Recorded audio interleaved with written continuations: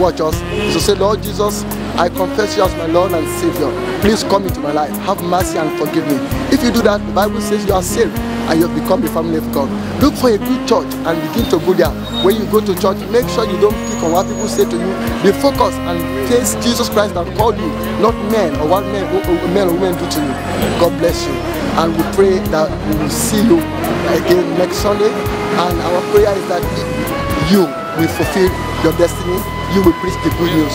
If you want any information from us or you need an information or you want to make a contribution or you, you want to collect some things that you, you, you think should be collected as led by the Spirit, you can give us a call. God bless you. Have a wonderful time and see you next week. God bless you.